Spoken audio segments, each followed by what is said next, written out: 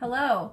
So I am going to bake a cake for my grandfather's birthday um, in a couple days and I only have time to bake the cake tonight and then ice and decorate it tomorrow for his birthday the following day. Um, so I thought I would do a video and just, um, I don't know, show this sort of boxed cake mix hack that I use. Um, you can find different versions of it online, but this is the one that I like to use.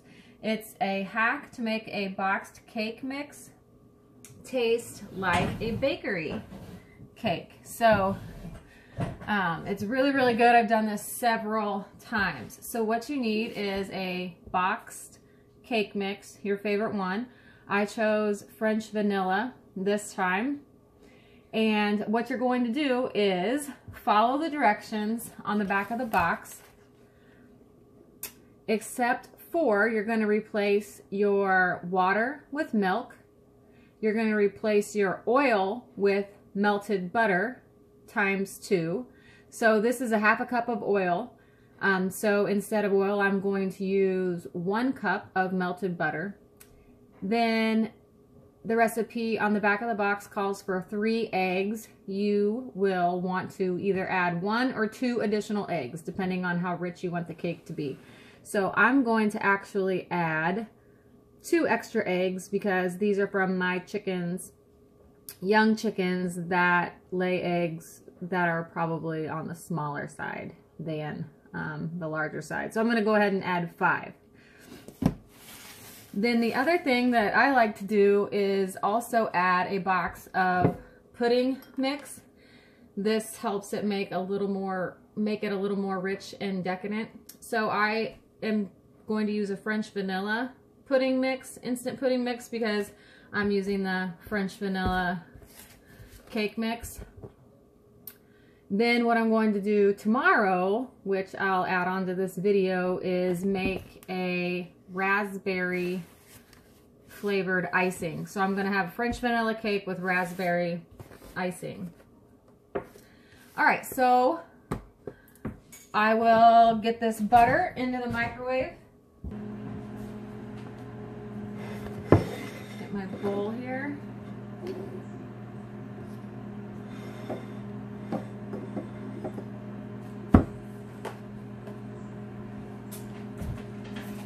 All right, so I have my prepared cake mix into the bowl.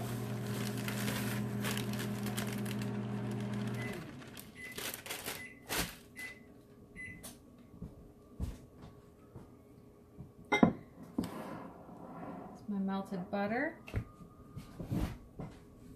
I'm going to go ahead and add my pudding.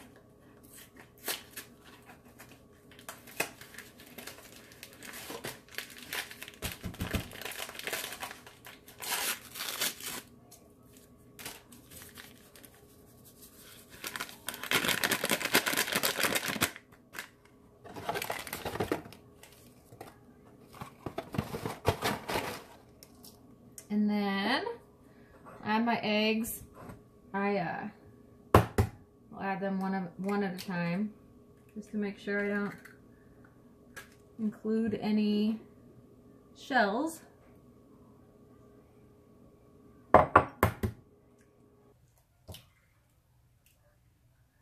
All right, no shells. Good.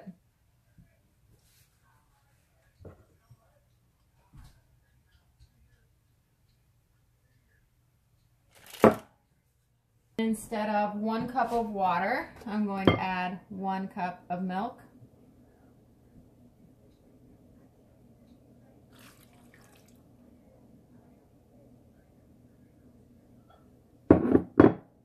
And then I have my one cup of one cup of melted butter that is replacing the half a cup of oil.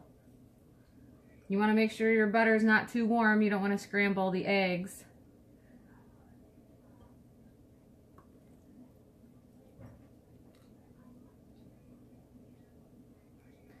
All right, now I will blend it up with my hand blender. All right, I got them all loaded up and ready to go, equal amounts. So I'm putting them in a preheated 325 degree oven, just like the box says, for darker nonstick pans. And I'm going to bake them for 24 to 29 minutes because I'm using two 9 inch round pans. Now you want to make sure to not undercook these cakes because they are um, very moist and very rich. So um, undercooking them will cause you issues definitely when you go to try and ice them. I've done it before, so learn from my mistakes and use your toothpick to test for doneness. All right, so these are gonna go in the oven and we'll see how they turn out.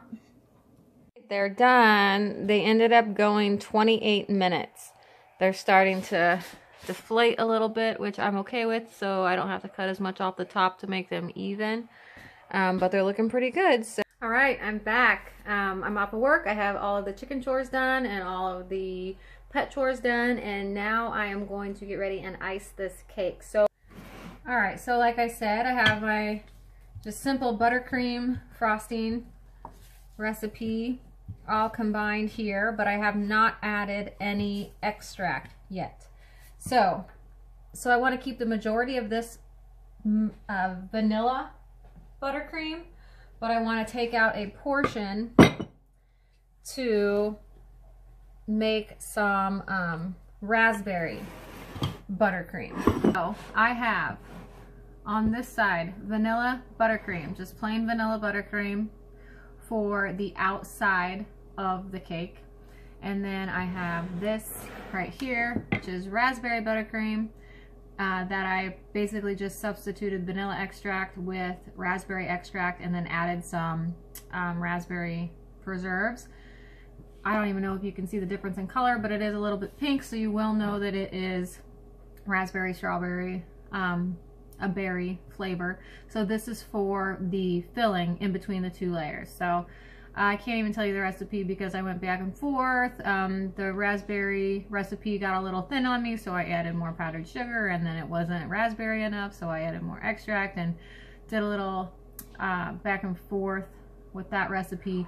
But this is just regular vanilla buttercream recipe. So now it's time to assemble the cake.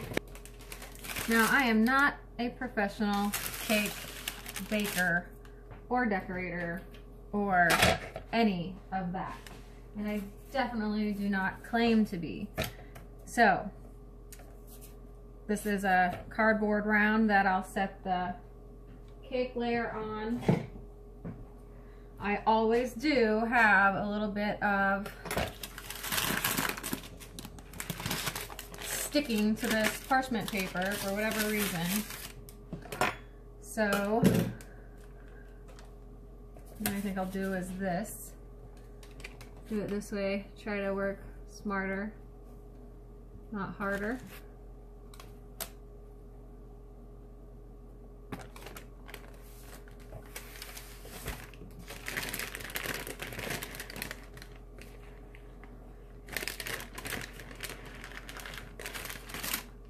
There, not too bad at all. It is very moist. All right, so I'm gonna take my uh, raspberry buttercream filling and dollop it on top of the first layer.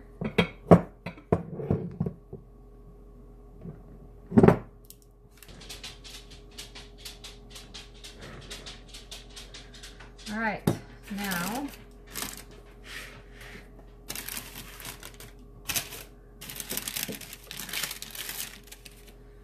add the second layer.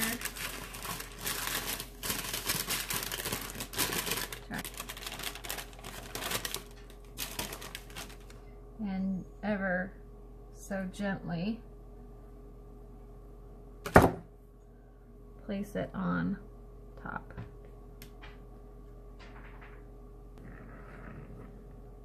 All right, I got all the edges cleaned up, so now I'm gonna ice the outside with Jeffrey's help. No, Boo, you cannot have any cake. And see if I can keep from destroying it. And at this point, I'm gonna save some icing so that I can decorate um, the trim too. So I don't wanna use all of my white icing.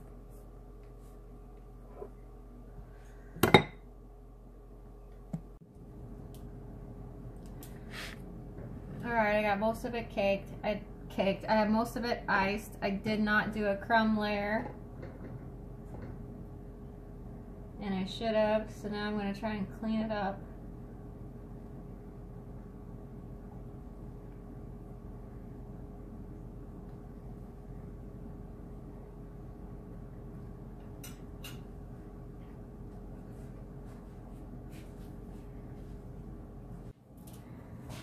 All right, I got the icing as smooth as I could, being an amateur cake decorator. There are a couple spots that are a little messy, but what I plan to do with those spots is to put my decorations or um, trim, you know, trim icing over those to help conceal them. So like I said, it's my grandpa's birthday. He's going to be 89 tomorrow. It's December, so it's a winter, winter birthday. Last year I made a blue and white cake with snowflakes and whatnot.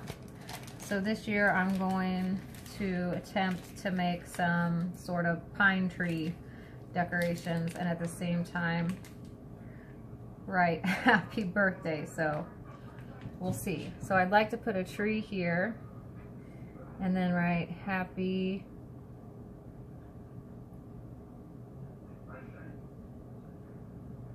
happy. I'm gonna write happy 89th birthday grandpa first. And I barely have any icing left so hopefully this works out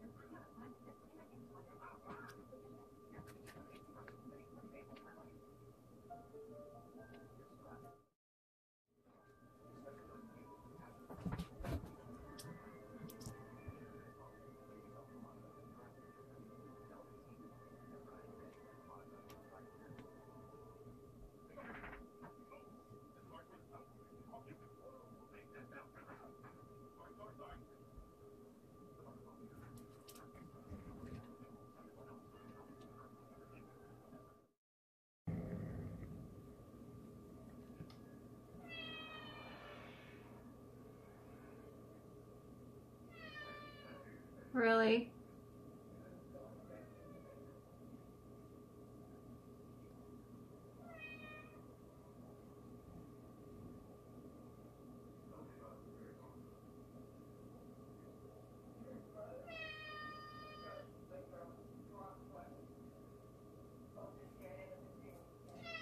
Shush, Brown.